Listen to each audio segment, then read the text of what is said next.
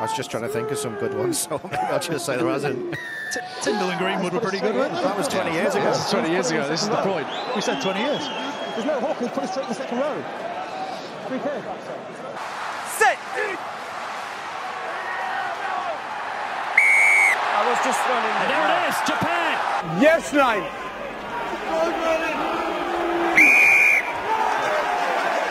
Better the scrum. Yeah, it's Scotland's ball, but in this position, Wales will try and put the squeeze on. Free kick to Wales as well. Now they're talking about feeds. Middle East, and you can see that that's more like a rugby league style feed. Ball in. Free kick to Edinburgh. Roddy Grant will be just weighing up his options. Roddy Grant, one of these. Um...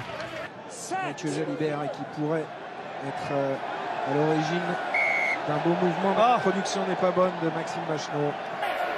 First of all, referee wants the scrum to stay up. Oh, crooked feed this time.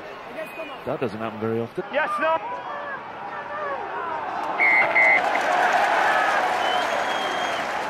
So, They've got jittery. Okay, so second penalty, that's a warning. If he puts it in straight, not straight again, I will yellow card him. Castres have never won their first two matches in the Heineken Cup. I suspect that's the way it's going to go here. And look at that. Change for Gordon D'Arcy. He's gone in at 12. And we see Gopperth and Madigan together at 10.